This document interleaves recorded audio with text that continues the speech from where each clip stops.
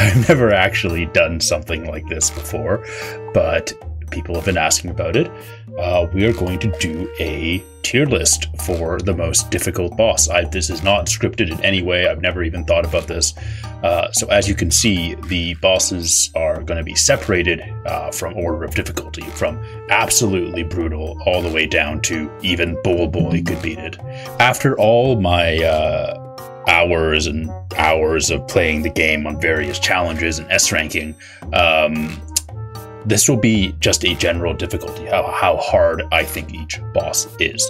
Cagney Carnation, not much of a challenge, pretty easy. Uh, Hilda Berg, I would say she's quite difficult. Uh, I think she's definitely one of the harder ones of the airplane levels. Right next to. God, I almost want to put him up to quite difficult, but I think he's Willy Warbles is tricky but not bad. Rumor Honeybottoms used to be absolutely brutal, uh, but now she's kind of a joke to me. I'll still put her as quite difficult because it took a lot of practice before I got good enough to uh, take her down. Captain Brineybeard, I love him. He's really easy. Sally Stageplay, really easy. Uh, Werner Werman is not much of a challenge, but I'd say it's about the same level of difficulty. No, I'm gonna move Sally Stageplay up to not much of a challenge. Dr. Kahl's robot, the robot itself, pretty pathetic. Dr. Kahl himself, pretty pathetic. Really easy for me. Cala Maria, I'd say, is tricky but not bad, just because it's a lot of RNG. Uh, it's a lot of randomness. This, this, the, the ghost, the, this, the ghost eyeball ghost, e- easy. Like I know he's only part of. He's only one phase, so it's hard to say. But his patterns are a joke. Uh, I would say Conductor Man is tricky but not bad. Uh, Onion Boy, sorry, even Bull Boy could beat you. Can you walk left and right? Yeah, okay. The I forgot what these things are called. I'm gonna call them the Lollipop Ghost. I know someone else gave me the proper name. I can't remember what they are right now. If you know their name, put them in the comments. Tricky but not bad. It's really not that hard as long as you you know the trick. So I would say it's not that bad. The actual train itself, I'd put that as quite difficult. It's it's it's definitely a, a stressful third phase. Oh, we're, we're going straight into the King Dice. Uh, I always thought the Tipsy Trio were one of the toughest ones in the entire thing. So Tipsy Trio goes up here. Chips Bettigan, I think, not not much of a challenge. Cigar Man, easy. Pip and Dot, uh, not much of a challenge. Oh my god, the stupid rabbit. The rabbit goes up. Where's where'd he go? Rabbit goes up here. I forgot what, what's his name. Who cares what his name is? An annoying rabbit. Uh, Phear Lap, I'd say is not bad. It's just the foreground. You, it makes it hard to see anything. That's the problem. Pirouletta, if you have Smoke Bomb, is pathetic. Mangosteen is pathetic. Carrot Man, sorry, you're in the Bull Boy category. Monkey, this monkey, this friggin' monkey absolutely brutal. I hate this monkey. Is it is it brutal because it's hard? No. And I know that's what how I define the tier list, but every time I see that monkey, I want to just reset. I, I hate him so much. I'm just not good at memory games, and it's just so stressful. King Dice, I'd say, is not much of a challenge. Even on Black and White, once I knew the trick, it was tough, but it wasn't that bad. I say the Devil is actually quite difficult, mostly the first phase, uh, but he's not that bad. Glumstone, I'd put as quite difficult as well. It's mostly the first and second phases. Let's see. Mortimer Freeze, I say tricky but not bad. It, expert mode, he's very tough. S ranking him is a pain, but that's just because there aren't enough parries. But normal mode, he's really easy. So I'm gonna say that rounds out to uh, tricky but not bad. Oh, this is oh his phases are here. Okay. Uh, in that case, yeah, I think that still tracks. I'm gonna move his final.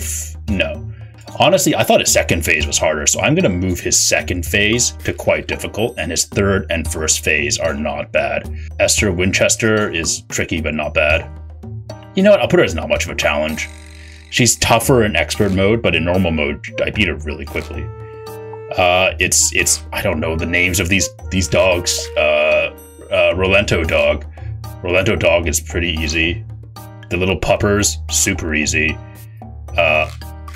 Hot, hot female dog. Uh, I'll put it as quite difficult.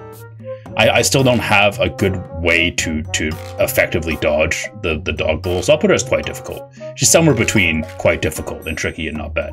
Goopy the Grand, Grand, Guppy, Guppy the Grand, Goopy the Grand, Slime Boy, pathetic. Ah, no, even Bull Boy could beat it. Sorry. Ah, the spider. I don't think he's that much of a challenge. I don't think he's that bad. I'm putting uh, the the jitterbug. I, I, I, don't know any of the DLC characters' names. I'm so sorry. Uh, hot insect lady is tricky until you know, like, until you learn you can just uh, smoke bomb on the on the sides, like in my video. Then it's a joke. But if you don't know that, I think it's quite tough. Anteater, I would say, is is is uh, right up there, right up there, quite difficult. I was thinking putting him in absolutely brutal, but I don't think he's that tough. Sorry, Snail, Boss, even Bull Boy could beat you. Next, Chef Saltbaker, right at the top. I think he's the, the hardest fight of the game. Really, really horrible. I really dis. I mean, it's it's a fun boss, and that but that first phase is so hard. I I think it's so brutal. Uh, Angel and Devil, I'd say that's quite difficult. Again, it's like you once you learn the trick, it's not that bad. But just going in blind your first time playing it, it's horrible. Uh, not a horrible, but it's it's tricky. Okay, confession: I am so awful at these pawns. I'm putting the pawns up here. I was so bad at the pawns. There's a reason why I haven't done any of these on stream because they are. I'm so bad at the chess chessboard fights. I think the knight was tricky, but it wasn't bad. Uh, bishop was pretty easy. Uh, let's just do the, all, all the, the chess pieces first. Uh, the rook was tricky, but not bad. The queen was pretty easy. It's just the pawns. For some reason, I was so bad at the pawns. I don't know why. Ribby and Croaks, I'd say, is not much of a challenge. Really fun. One of my favorite boss fights, but he's pretty easy. Uh, let me look here. Like, is Ribby and Croaks easier than like Werner Werman? Eh, it's about the same level. Okay, sorry, you guys are getting downgraded. Baroness von Bonbon, I'd say tricky but not bad, especially that final phase. Super fun. Beppi the Clown. Yeah, not much of a challenge, I don't think. I don't I don't think he's harder than like Cala Maria or like on the same level. I think I think that makes sense. Djimmi the Great, I put him into pathetic. He's he's really once you like yes, he's tough when you're starting out, but once you know the tricks, he's so pathetic. Grim Matchstick, straight to the top.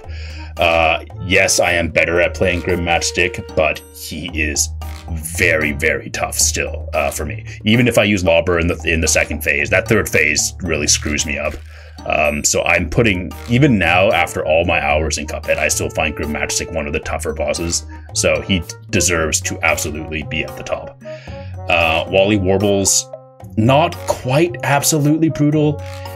He is very hard to S rank, but in normal mode, he's not quite that bad. So I'll have him in quite difficult. And finally, we'll have uh, Potato Man. I don't. Why can't I remember the name of the root pack? He can be in the Bull Boy territory. Sorry. There you go. That's every Cuphead boss ranked by difficulty, as according to Justo All Day. you, if you disagree with me, make sure to yell at me in the comments. Thanks for watching.